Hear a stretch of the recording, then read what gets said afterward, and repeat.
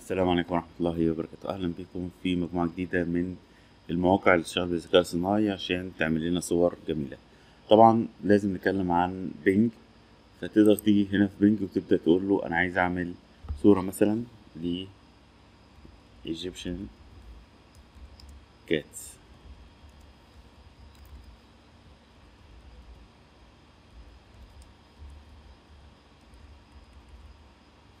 تمام؟ وتقول له create هو انت ليك نقط كل يوم بتجيلك نقط جديدة.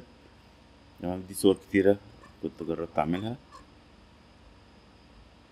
الجميل في الموقع دوت إن أنت تقدر تكتب بالعربي عادي. المواقع التانية لما بتكتب بالإنجليزي بتطلع لك نتيجة حلوة لو بالعربي بتطلع حاجة أي كلام. هو أول ما يشوف Egyptian بيعتبر إن هي عصر الأسرات. الموقع جميل فعلا تقدر تعمل منه صور كتيرة مختلفة. وفي حاجة اسمها explore idea يبدأ يجيب لك الأفكار بحيث إن مثلا تقدر تقف على صورة وتقرأ ال prompt اللي اتعمل بيه الصورة ديت. وتعمل أنت بقى بصورة زيها.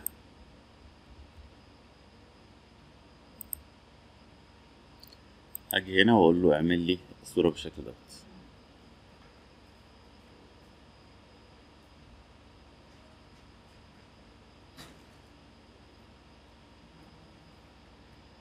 عمل لي أربع صور كل صورة فيهم أقدر إن أنا أكبرها وأقدر إن أنا أسيفها أو أعمل لها download أو أعمل لها share أو أعمل لها customize طيب ده موقع تاني اسمه Stable Diffusion محطوط على GitHub GitHub ده موقع open source الناس بتبدأ تجرب فيه الحاجات قبل ما هم ينزلوها تمام؟ فتقدر إن أنت دي open source تقدر إن أنت تشوفها وتقدر إن أنت تشتغل عليها. وبيشرح لك إزاي إن أنت تقدر تسطبها عندك على الجهاز. يعني هيبقى عندك على الجهاز موقع خاص بيك تقدر إن أنت تعمل بيه تكوين للصور من خلال التكست. وإحنا شرحنا قبل كده طريقة التسطيب بتاعته. هتنزل الملف وتفتح الملف اللي اسمه update دوت بات وخلاص كده هيتسطب عندك. تمشي على الخطوات هتلاقي الملف بقى موجود عندك إن شاء الله.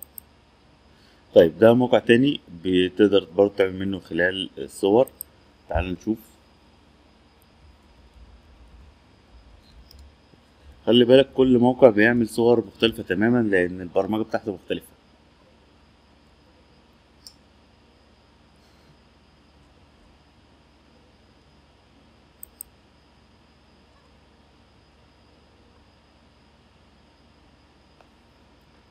هو دخلنا هنا على الكانفا فتقدر تعدل الصور زي ما انت عايز.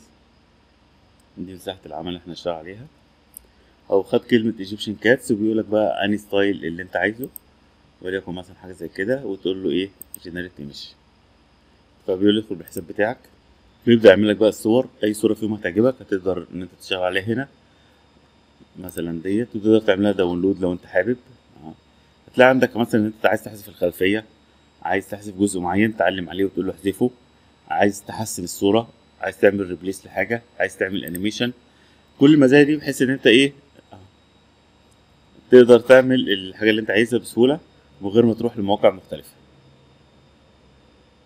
ماشي؟ تقدر تعمل align تقدر تعمل crop تقدر تعمل replace صورة معينة لصورة تانية الوجه مثلا. ولما تخلص خالص تقدر تقول له export فمن المواقع السهلة جدا واللذيذة واللي جواه حاجات كتيرة جدا بالذكاء الاصطناعي. مش مجرد بس تحويل التكست لصور. طيب تعالى نجرب الموقع دوت.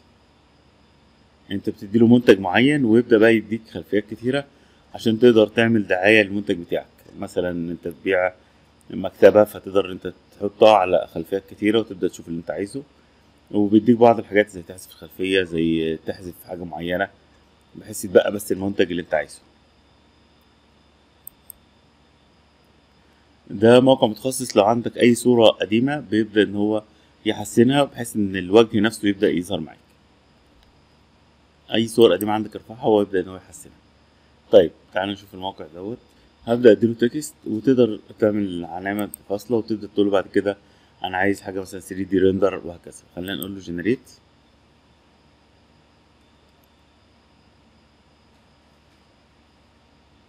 يبدأ يعمل لك الصور بالشكل دوت. برضه نفس الفكرة هنا. ممكن تيجي تقول له أنا عايز أعمل صور معينة وممكن ترفع له صورة عندك هو يبدأ إن هو يشتغل عليها. يعني صورة أنت مصورها وتقول له مثلا خليها لي على شكل كرتون وهكذا. وفي إمكانية إنك تخلي في حركة لكن ده بفلوس. تبقى في عضوية ممبرشيب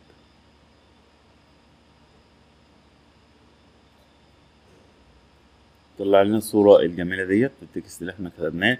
تقدر تحسن الصورة تقدر تسيفها تقدر تنسخها تقدر تستخدمها. بعد كده في إنتاج صور تانية. بعد كده بنروح لموقع جميل اسمه Prome AI زي ما انت شايف ممكن تمسح جزء معين من مبنى يبدأ إن هو آه، يحذفه خالص أو تقدر إن تعمل outpainting يعني تديله صورة وتقول له طب تخيل لو أنا كبرت العدسة كان هيطلع إيه معايا؟ ال relight برضو من الحاجات الكويسة. تديله صورة وهو يعمل لها فيديو بالشكل دوت. دي من خلال صورة text وفيديو تكتب له text ويبدأ يعمل الفيديو بتاعها. دي بعض الحاجات. الجميل إن هو فيه جزء كبير جدا معماري.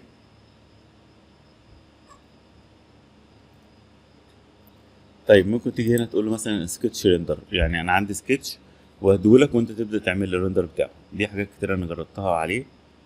تمام؟ بديله سكتش مرسوم هو يبدأ إن هو يعمل لي الصور. مثلا حاجة بالشكل دوت هو بدأ إن هو يعمل لي الصورة بتاعتها.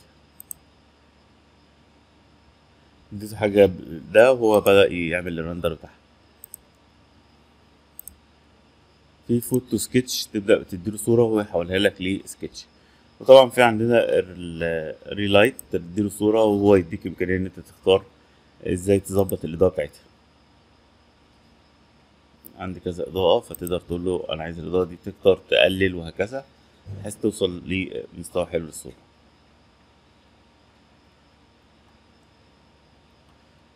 في طبعا image to video تديله صورة يحولها لك لفيديو أو text to video موجودة. هنا كل إضاءة فيهم نقدر إحنا نغير فيها زي ما إحنا عايزين.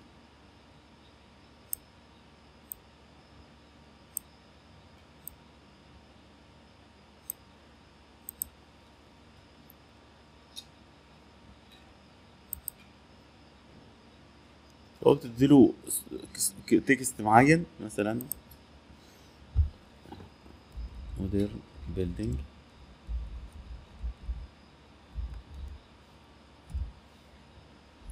هو يبدأ بقى إيه يشوفها زي ما إحنا عايزين. ماشي؟ ممكن بعد كده تختار ال style اللي أنت عايزه وتختار ال scale وتقول له generate فبيكون لك الصورة وبعد كده يديها حركة من الكاميرا زي زوم يحرك جزء معين منها وهكذا. تعال نشوف الصورة. أو الفيديو بقى. آه. بالشكل ده طيب تعالى بقى نشوف موقع تاني. الموقع ده موقع تقدر تعمل بيه حاجات كتير قوي. يعني هو الفكرة كلها إن هو واجهة ل ChatGPT واجهة لمواقع كتير من مواقع الذكاء الاصطناعي. تقدر تكتب text هنا وتجربه على بي Playground مثلا بدل ما تفتح موقع Playground. ده موقع اسمه Character.AI بتتكلم مع الذكاء الاصطناعي في الحاجة اللي انت عايزها. يعني مثلا تختار شخصية مثلا آه، نابليون أو هتلر أو آه، سقراط وتبدأ تدردش معاه. فده موقع من المواقع اللي أنا بحب أدخل أدردش معاها كده شوية. تختار أي شخصية من دول وتبدأ إن أنت تسأله. ويبدأ إن هو يتحاور معاك. يعني كأنك رحت ChatGPT وقلت له تخيل آه، أنا عايز أتكلم مع شخصية آه، محمد الفاتح. كلمني كأنك محمد الفاتح فيبدأ إن هو يتناقش معاك. طيب ده موقع برضو تحول ال text لصور مفيش كذا حاجة. create image animate video وهكذا. طيب الموقع الجميل ده بقى بنعمل بيه إيه؟ خلينا نمسح كده ونبدأ صورة جديدة. أول حاجة بتقول له أنا عايز إيه؟ أنا عايز مثلا cats play in water ماشي؟ وخلينا نغير ال animation ال images بالشكل دوت.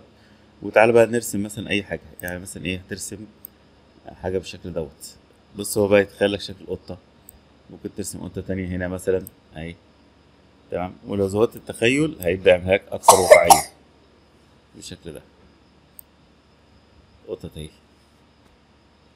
مجرد إن أنت ترسم اي شخبطة هو يحولها للوحة فنية. ممكن بعد كده تقول له ري ايماجن يعيد لك التخيل أو يحسن لك الصورة.